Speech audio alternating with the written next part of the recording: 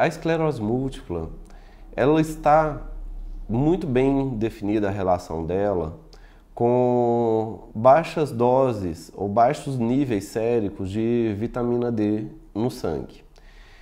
Já saíram estudos que, tendo reposição de vitamina D, tem a pessoa que faz isso tem menor tendência a ter surto.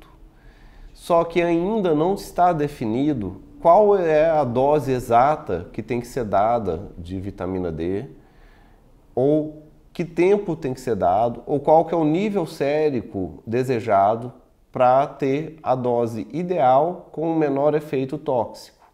Porque a vitamina D também não é inócua. À medida que você vai aumentando a dose dela, vai aumentando o risco de ter lesões renais, ter intoxicação. Mas sim, tem benefício a vitamina D para esclerose múltipla. Outra relação muito importante da esclerose múltipla é com a microbiologia intestinal.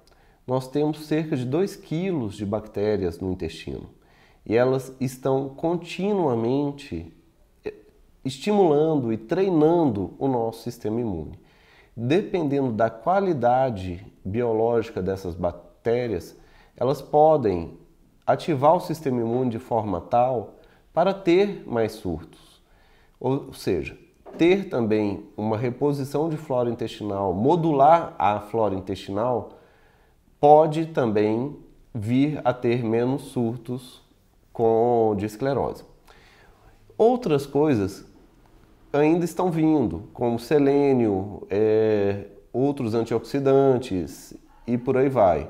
Mas o de medidas ambientais fundamental, que já é de recomendação, é dieta de baixa quantidade de sódio, pois o sistema imune é menos ativado se tem uma carga menor de sódio no organismo.